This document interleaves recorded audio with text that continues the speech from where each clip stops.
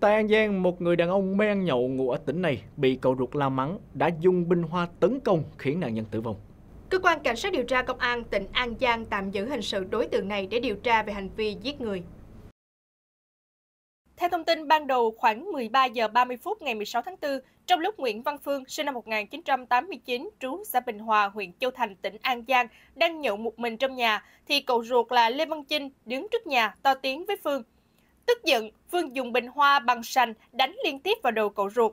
Nạn nhân ngã xuống đất, Phương vẫn không dừng lại, tiếp tục đánh cho đến khi nạn nhân bất tỉnh thì Phương mới bỏ đi. Khoảng 30 phút sau, mẹ của Phương về nhà, phát hiện nạn nhân tử vong trước cửa, đã thông báo cho những người xung quanh biết để trình báo công an.